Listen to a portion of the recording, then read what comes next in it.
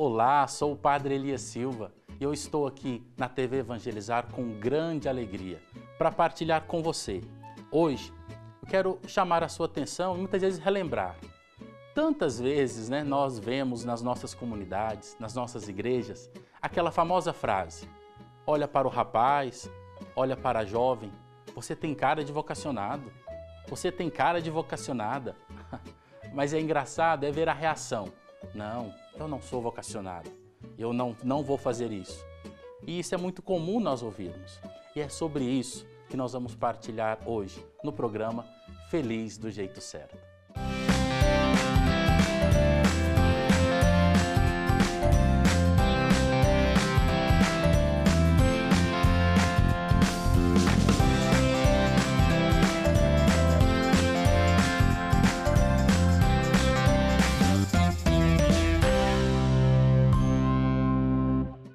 Antes de nós iniciarmos o tema, eu tenho uma pergunta para você. Você já é associado da TV Evangelizar, desta grande obra de evangelização? Se sim, muito obrigado, Deus te abençoe. Se não, o meu pedido, tem um pedido, torne-se um associado dessa grande obra. Graças à sua ajuda, tantos programas, tantas bênçãos entram na casa de tantas pessoas, inclusive na sua. Como fazer para tornar-se um associado? É muito simples. Simples. Você vai ligar 041 3221 6060 e tecle 1. E aí você vai lá, fala, eu quero me tornar-se um associado. Obrigado, viu, pela sua generosidade. Nós, da Obra Evangelizada, da TV Evangelizar, agradecemos. Nós temos na Sagrada Escritura várias passagens, várias passagens onde nós encontramos, por exemplo, Jesus que caminhava na beira do mar, chamou aqueles homens. Como é bonito ver o olhar de Jesus naqueles homens. E quando nós lemos essa passagem dos pescadores, que se tornou pescadores de homens, como diz Lucas, nós falamos, esses sim são vocacionados. Nós encontramos Levi na sua mesa de coletoria de impostos, que se sente interpelado por aquele olhar de Jesus. E aí nós falamos, este sim é um vocacionado. Mas na verdade, nós não podemos esquecer. Deus criou a você, criou a mim, por um amor inesgotável, por uma misericórdia. E junto com essa graça que Ele nos deu, que foi o dom da vida, Ele colocou dentro de mim e de você algo que ninguém pode tirar. Nós podemos até renunciar, que é o desejo de ser feliz, o desejo de ser santo, o desejo de ousar coisas grandes. Quem de nós, quem de nós temos a força, temos a autoridade de aumentar um segundo na nossa vida? Ou quem de nós, por nós mesmos, tivemos a graça de vir ao mundo? Se nós olharmos, e é interessante nós fazermos isso, o termo vocação. Vocação vem do latim vocare. É isto que quer dizer chamado. Chamado. Aí você pode perguntar, Padre Elias, mas então como assim chamado? Eu acabei de dizer, eu e você fomos chamados à vida. Então nós podemos assumir, bater o nosso peito e falar: Eu sou um vocacionado à vida. Não por nós mesmos, mas por Deus. Daí, como conclusão, nós temos uma, um outro chamado Lembra do termo vocare, chamado? Nós temos um outro chamado, chamado a santidade. Ah, como esse é irrenunciável também. Aquele desejo que eu e você tem dentro de nós, que é um chamado que Deus colocou no nosso coração. Daí, nós já tiramos algumas conclusões. Lembra da frase que eu disse no início do programa? Você tem cara de vocacionado, você tem cara de vocacionada. Daí nós já tiramos a conclusão. Se eu fosse, se eu fui chamado à vida, chamado à santidade, chamado a sonhar grandes coisas, chamado a abraçar o sonho de Deus, chamado a ser feliz, esse é o tema do nosso programa, então nós podemos falar sim. Obrigado, Senhor, porque eu sou vocacionado. Você, esposa, esposa, que tem essa belíssima missão e abraçou a vocação matrimonial, antes Antes, Deus já te chamou. Deus já te trouxe a vida. Deus já te chamou à santidade. Nós, sacerdotes, que nos gastamos e nos doamos dia a dia por amor a Ele. Antes da nossa vocação sacerdotal assumir esse ministério, Deus já tinha me chamado, Deus já tinha me convocado. E é isso que o nosso programa hoje, Feliz do Jeito Certo, porque somente assim, tendo a consciência que eu sou chamado, sou, eu sou vocacionado, somente assim vamos trilhar o caminho que Ele sonhou, que Ele chamou para ser feliz do jeito certo.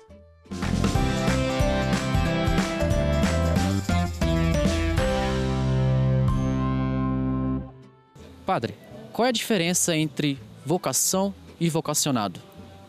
O que é ser vocacionado? Como é comum nas comunidades, isso que nós acabamos de ouvir, acabamos de ver. Quem é vocacionado, o que é o vocacionado, eu não sou vocacionado, ou até mesmo as pessoas jovens né, que me procuram falam, padre, eu quero ser vocacionado, como eu faço? É comum essas expressões dentro da nossa igreja, você já deve ter ouvido. Mas lembrando aquilo que nós falamos, Deus nos chama desde sempre.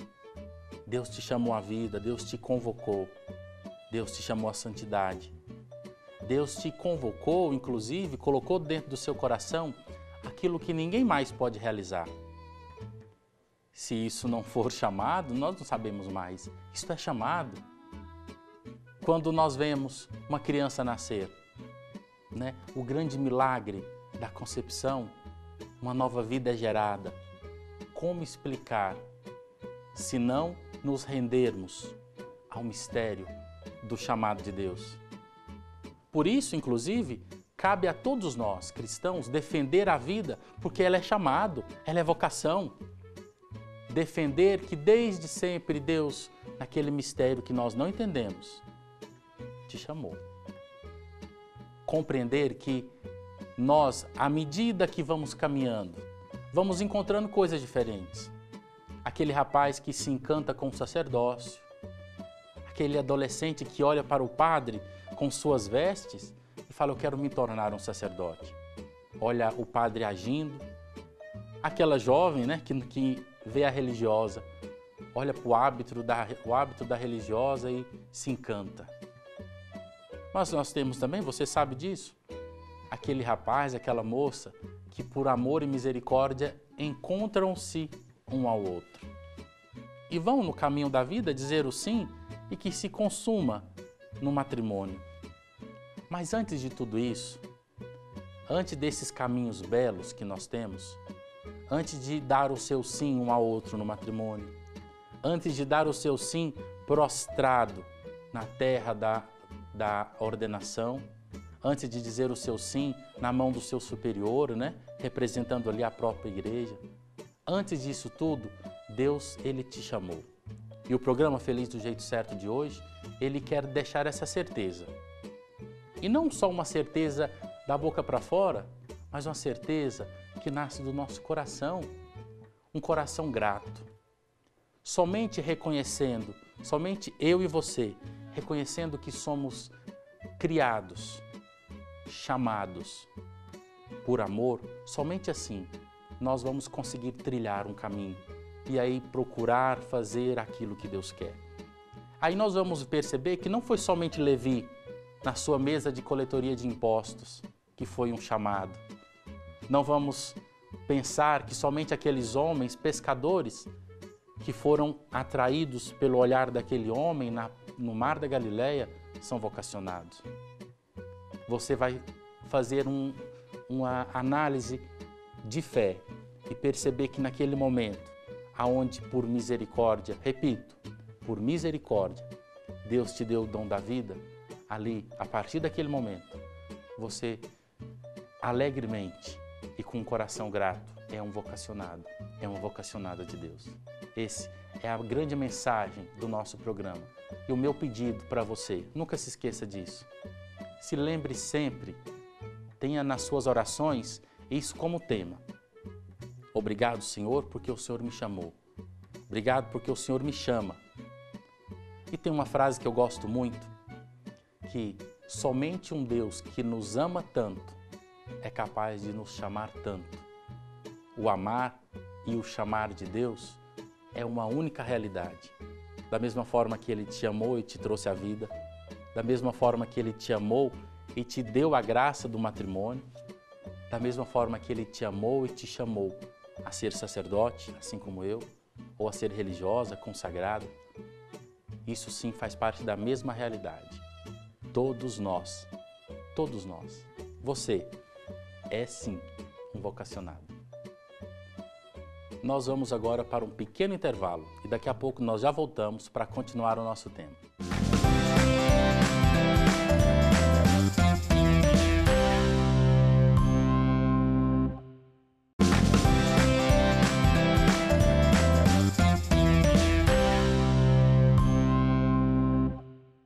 Seja bem-vindo novamente ao programa Feliz do Jeito Certo. E eu quero fazer um convite. Queria muito, quero muito, ouvir o seu testemunho vocacional. Partilhe comigo a sua experiência vocacional, talvez sobre esse tema de hoje. Eu sou vocacionado, né? Ou eu quero ser vocacionado. Como que funciona isso? Como você faz para participar? Eu vou esperar o seu e-mail muito simples. O e-mail é feliz do jeito certo, arroba evangelizarepreciso.com.br. Repetindo, feliz do jeito certo, arroba evangelizarepreciso.com.br. Participe, escreva, eu mesmo vou ler o seu e-mail e quem sabe, né? Quem sabe partilhar aqui no nosso programa o seu testemunho vocacional. Inclusive, falar em testemunho vocacional, quero convidar você para junto, junto comigo, nós vermos, assistirmos um belíssimo depoimento, uma fala de um seminarista. Acompanhe comigo.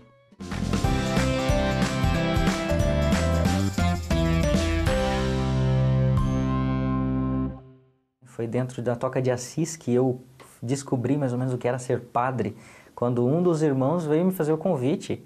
Quando nós tínhamos um grupo de jovens, fomos fazer é, uma doação para eles de roupa, alimentos, e daí um dos irmãos me abordou, né? Falou assim: Ah, você tem cara de padre, né? Minha namorada quase bateu nele, né? Então, aí foi onde eu tive essa primeira contato, assim, com a palavra padre, né? Me assustava quando o padre chegava perto de mim e tudo, né?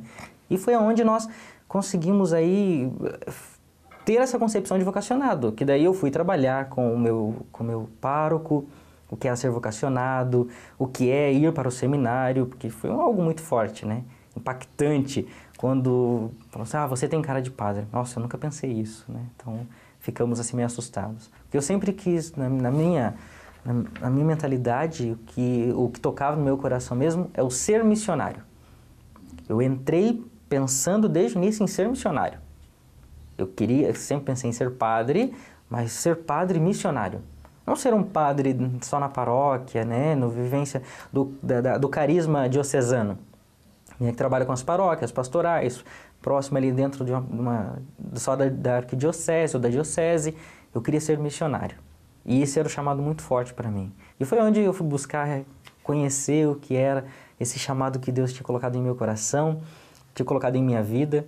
Eu tendo trabalhado fora, vivido fora, namorado, tendo conhecido realmente o mundo, mas dentro do meu coração tocava mais forte quando eu estava participando da igreja, atuando dentro da igreja, me dedicando totalmente dentro da igreja. Ali eu era feliz. Ali eu era completamente realizado. Dia de semana eu trabalhava, festava, mas dentro da igreja era o dia que eu estava feliz. Tanto que eu trabalhei dentro de uma corretora de imóveis, eu perdi os meus finais de semana. E aquilo ali começou a me deixar em depressão, começou a me deixar assim, fora de mim, né? Aí foi onde eu tive que parar, respirar e falar: não, eu tenho que colocar a minha vida no prumo de novo, colocar no eixo. Foi onde eu voltei para a igreja e fui daí responder o meu chamado. Aí é onde eu conheci os missionários redentoristas, que já conhecia desde antes, quando eu, eu estava na faculdade fazendo filosofia, já conhecia os missionários redentoristas, estudava com ele, fazia, fazia a direção espiritual e confissão com um padre redentorista, e daí foi aonde eu vi que ali era um carisma do qual o meu coração assim, é, ansiava. E foi onde eu fui conhecer profundamente os missionários redentoristas, me encantei por esse carisma, e é onde hoje eu estou há três anos respondendo esse chamado, muito realizado, né?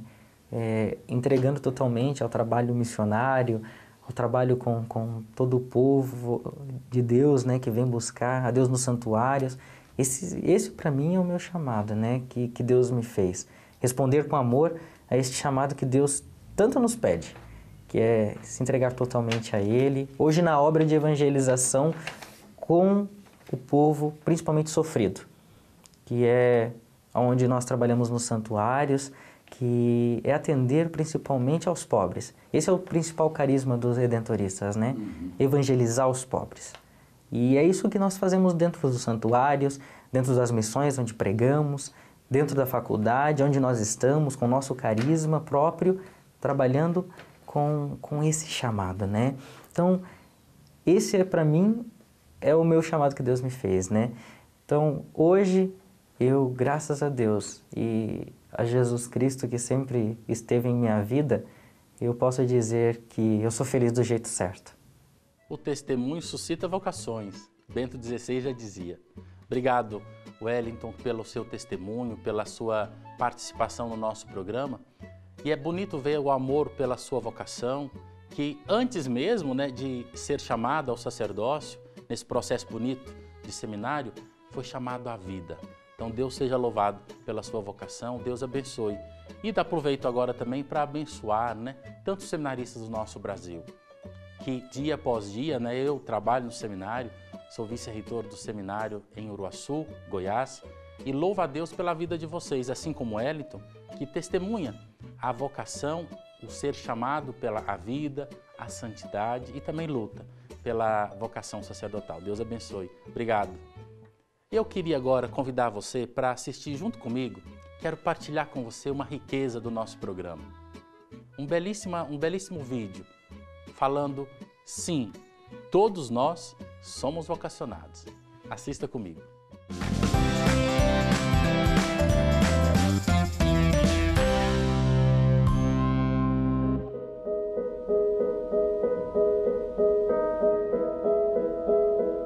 Servir sem dúvida alguma, foi o lema de Jesus. Eu vim para servir e não para ser servido. Há mais alegria em servir do que ser servido. Eu sou igreja, eu trabalho para Cristo. Então eu acho que o trabalho nosso é bem além daquilo que a gente pode imaginar. Nós trabalhamos em função da propagação do nome de Jesus. Eu me sinto muito realizada, isso para mim me alegra muito. Eu até falo com meus filhos, eu demorei demais para seguir e ver esse caminho maravilhoso que é esse caminho de Deus. A gente sente uma alegria muito grande em poder ajudar as pessoas, né? Cada um de nós é um tijolinho. Então a necessidade é importante, sim. Cada um de nós somos muito importantes para o reino de Deus. Até hoje eu sinto muito feliz por estar na liturgia. Eu sempre achei que a catequese é fundamental para todos os movimentos e pastorais. Tudo tem início na catequese. Uma catequese alicerçada pela fé, ela gera benfeitorias nas famílias, nos jovens, nas crianças, na comunidade. Trabalho gratificante, gratificante assim. É, Deus nos chama, né? Deus nos chama a uma missão. Então a gente está a serviço.